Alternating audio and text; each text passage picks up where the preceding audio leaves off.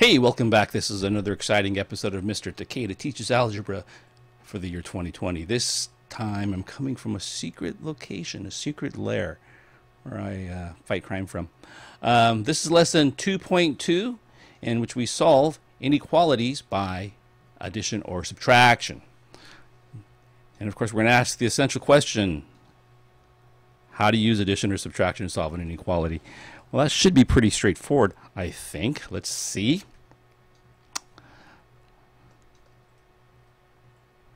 Wow, really fast. Okay, addition property of inequality. As I've said in the past, the uh, inequalities are like cousins of equations, so they have a lot of the same properties, and uh, addition and subtraction are one of them. In that if I start with a true inequality, such as negative 3 is less than 2, and if I add 4 to both of those, both sides, just like inequalities and equations, we're dealing with sides. So we do the same thing to both sides.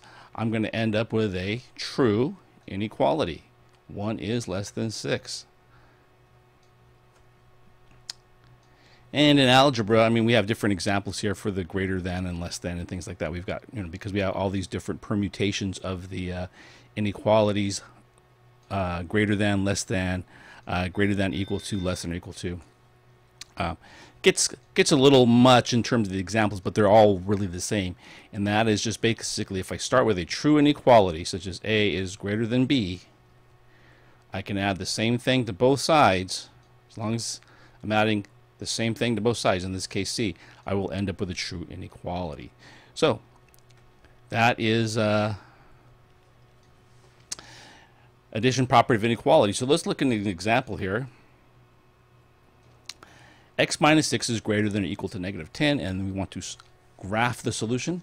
Well, again, just like with equations, we want the x by itself. So I'm going to add 6 to essentially turn the negative 6 into a plus 0. Negative 6 plus 6 is 0.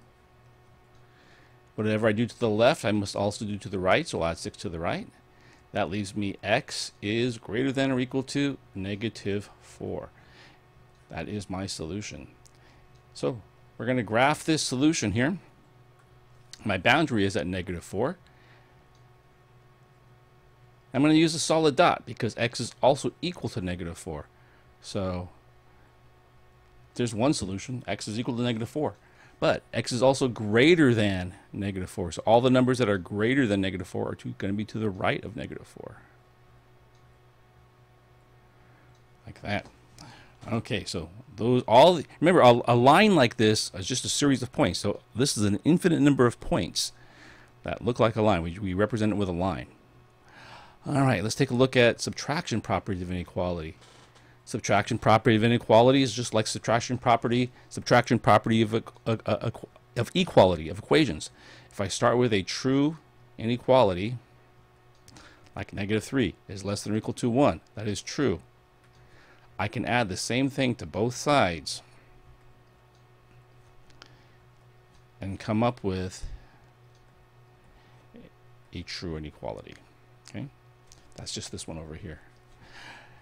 And just like just like in algebra, you know, if A is less than or equal to B, I can subtract the same thing from both sides and still come up with a true inequality. Quality.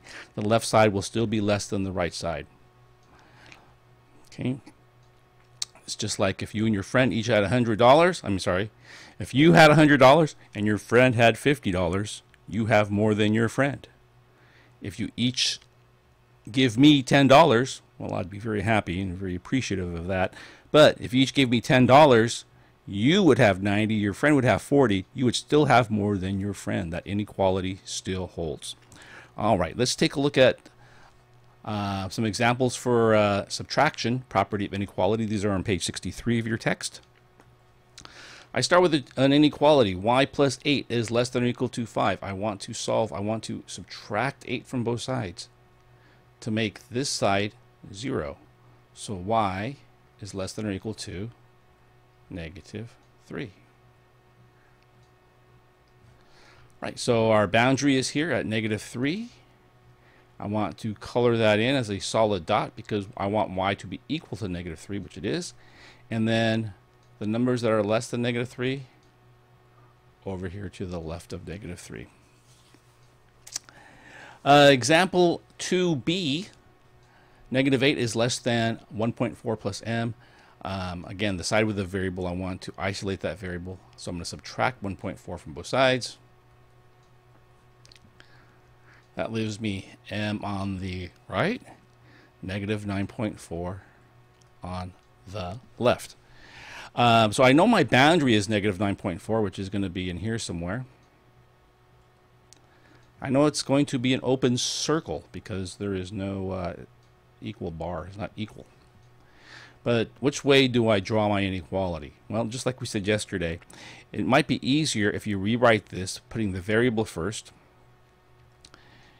And because I'm pointing to the to the negative 9.4 originally, I want to maintain that because negative it's always pointing to the smaller thing. So if I flip if I flip the order of these things, negative 9.4 is still going to be smaller. So m is greater than negative 9.4. So that's going to be in this direction here. Okay. And notice I go, I fill the line all the way up and I put a big arrow at the end. That means that this is going to go on forever. Um, I don't know how much you know about uh, graphing on a number line inequalities, but this big arrow here means it's going to go on forever to the right. Because all those numbers to the left of negative 9.4 are greater than negative 9.4. Okay, let's take a look at uh, our last example here, modeling with mathematics. This is on page 64. A circuit overloads at 1800 watts of electricity. So you plug in a microwave that uses 1100 watts of electricity into that circuit. Write and solve an inequality that represents how many watts you can add to the circuit without overloading the circuit.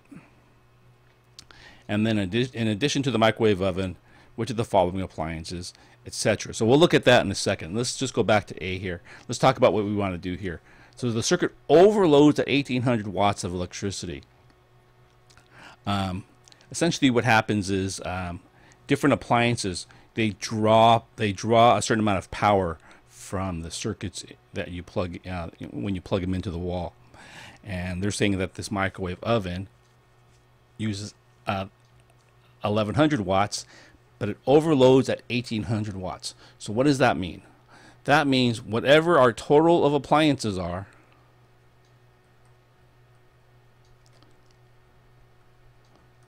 their total watts has to be less than 1800.